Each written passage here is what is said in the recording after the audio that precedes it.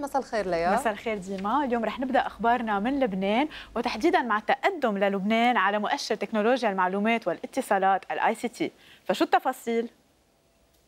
لبنان الأكثر ديناميكية بين دول العالم من حيث سرعة تقدمه بمؤشرات تكنولوجيا المعلومات والاتصالات وذلك بحسب تقرير الاتحاد الدولي للاتصالات التابع للأمم المتحدة. والمقصود بتكنولوجيا المعلومات والاتصالات هو قدرة الدول على تقديم واستخدام أحدث التطبيقات التكنولوجية من أجهزة كمبيوتر وبنية تحتية للإنترنت وبث رقمي واتصالات هاتفية.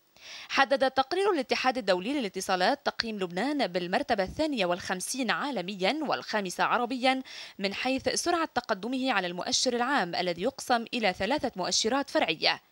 مؤشر النفاذ الذي يظهر الإقبال الشديد على الاشتراكات بالإنترنت من الشبكة الخلوية.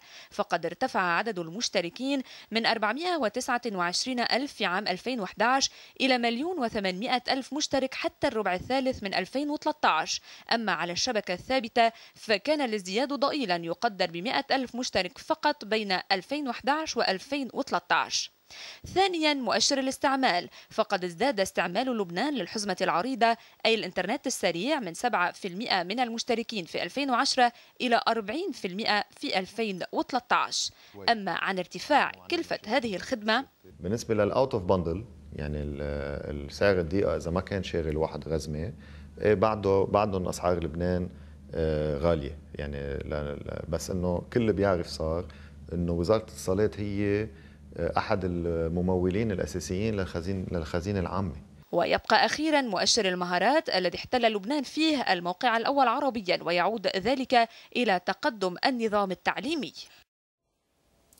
غرمت هيئة سوق المال بسويسرا مصرف ال HSBC 88 ألف فرنك سويسري أو حوالي 98 ألف دولار بالإضافة لمنعه من فتح حسابات لشخصيات سياسية لمدة ثلاث سنوات. هالغرامة سببها اتهام المصرف بالتقصير بتطبيق الإجراءات اللازمة قبل فتح حسابات لشخصيات مقربة من الرئيس التونسي السابق زين العابدين بن علي. وتمثل هالقضية ضربة جديدة بسجل المصارف السويسرية اللي عم بتحاول تغيير الانطباع بأنها عم تتواطأ مع الشخصيات المهمة والمتهربين من الضرائب. يذكر إنه غير ال HSBC الحكم طاول مصرفين عالميين هن ال Union Bancaire Privée وال EFG